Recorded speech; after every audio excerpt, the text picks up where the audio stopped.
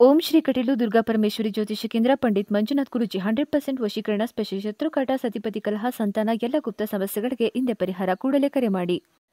ಎಲ್ಲರಿಗೂ ನಮಸ್ಕಾರ. ಇದೇ ಎರಡ್ ಸಾವಿರದ ಇಪ್ಪತ್ತೆರಡು, ಅಂದರೆ ಇದೇ ವರ್ಷದ ತಿಂಗಳಲ್ಲಿ ವರ್ಷದ ಮೊದಲ ಸೂರ್ಯಗ್ರಹಣ ಸಂಭವಿಸಲಿದೆ. ಇದು ಎರಡ್ ಸಾವಿರದ ಇಪ್ಪತ್ತೆರಡರ ಮೊದಲ ಸೂರ್ಯಗ್ರಹಣವಾಗಿದ್ದು, ಕೆಲವು ರಾಶಿಗಳಿಗೆ ಸಾಕಷ್ಟು ಒಳ್ಳೆಯ ಪ್ರಭಾವ ಬೀರಿದರೆ, ಇನ್ನು ಕೆಲವು ರಾಶಿಗಳಿಗೆ ಕೆಟ್ಟ ಪ್ರಭಾವ ಬೀರಲಿದೆ. ಇನ್ನುಳಿದ ಕೆಲವು ಸಾಮಾನ್ಯ ರಾಶಿಗಳಿಗೆ ಯಾವುದೇ ಫಲ ಇರುವುದಿಲ್ಲ. ಬನ್ನಿ, ಈ ಸೂರ್ಯಗ್ರಹಣವು ಯಾವಾಗ ನಡೆಯಲಿದೆ, ಯಾವ ದಿನಾಂಕದಂದು ನಡೆಯುತ್ತದೆ, ಸೂರ್ಯಗ್ರಹಣದ ಸಮಯ ಏನು, ಯಾವ ರಾಶಿಗಳಿಗೆ ಯಾವ ರೀತಿಯ ಪ್ರಭಾವ ಮತ್ತು ಫಲ ಪ್ರಾಪ್ತಿಯಾಗಲಿದೆ ಅನ್ನೋದನ್ನ ಈ ವಿಡಿಯೋದಲ್ಲಿ ತಿಳಿಯೋಣ. ತಪ್ಪದೆ ಈ ವಿಡಿಯೋವನ್ನ ಈಗಲೇ ಲೈಕ್ ಮಾಡಿ. ವರ್ಷದ ಮೊದಲ ಸೂರ್ಯ ಚಂದ್ರ ಗ್ರಹಣದಿಂದ ಬದಲಾಗುತ್ತೆ ಈ ಮೂರು ರಾಶಿಯವರ ಅದೃಷ್ಟ. ಧಾರ್ಮಿಕ ದೃಷ್ಟಿಕೋನದಿಂದ ಗ್ರಹಣವನ್ನ ವಿಶೇಷವೆಂದು ಪರಿಗಣಿಸಲಾಗುತ್ತೆ.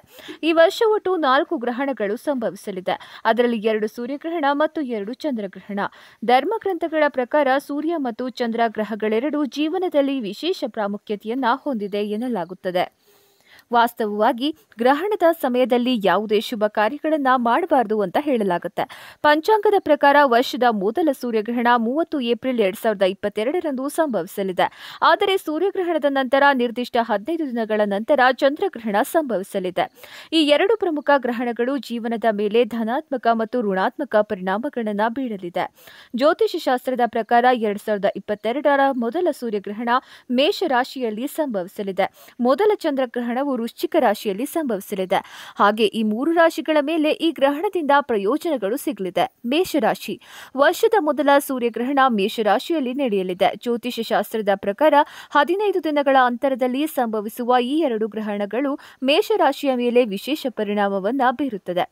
ಗ್ರಹಣದ ಶುಭ ಪರಿಣಾಮದಿಂದಾಗಿ ಆರ್ಥಿಕ ಸ್ಥಿತಿ ಉತ್ತಮವಾಗಿರಲಿದೆ. ಕಾರ್ಯಕ್ಷೇತ್ರದಲ್ಲಿ ಪ್ರಗತಿ ಕಂಡುಬರಲಿದೆ. ಈ ಗ್ರಹಣವು ವ್ಯಾಪಾರ ಮಾಡುವವರಿಗೆ ಮಂಗಳಕರವಾಗಲಿದೆ. ಗ್ರಹಣವು ಹೊಸ ಕೆಲಸದ ಪ್ರಮ- ಪ್ರಾರಂಭಕ್ಕೆ ಶುಭಕರವೆಂದು ಹೇಳಲಾಗುತ್ತೆ. ಸಿಂಹರಾಶಿ ಈ ರಾಶಿಯವರಿಗೆ ಸೂರ್ಯ ಮತ್ತು ಚಂದ್ರಗ್ರಹಣ ಎರಡು ಮಂಗಳಕರವೆಂದು ಹೇಳಲಾಗುತ್ತೆ. ಇವರಿಗೆ ಕೆಲಸದ ಸ್ಥಳದಲ್ಲಿ ಮಾತ್ರ ಪ್ರಗತಿ ಇರಲಿದೆ.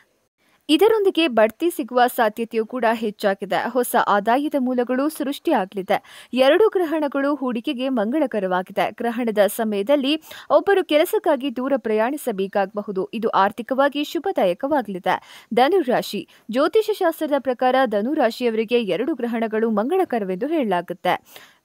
ಗ್ರಹಣದ ಸಮಯದಲ್ಲಿ ನೀವು ಹೊಸ ಉದ್ಯೋಗವನ್ನ ಪಡೆಯಬಹುದು. ಇದರೊಂದಿಗೆ ಸಂಪತ್ತಿನಲ್ಲಿ ಜ್ಞಾನದ ಪ್ರಬಲ ಯೋಗವಿದೆ. ಇದಲ್ಲದೆ ಸ್ಥಗಿತಗೊಂಡಿರುವಂತಹ ಅನೇಕ ಕಾಮಗಾರಿಗಳು ಪೂರ್ಣವಾಗಲಿದೆ. ನೀವು ಯಾವುದೇ ದೊಡ್ಡ ಕೆಲಸದಲ್ಲಿ ಯಶಸ್ಸನ್ನ ಪಡೆಯುತ್ತೀರಿ.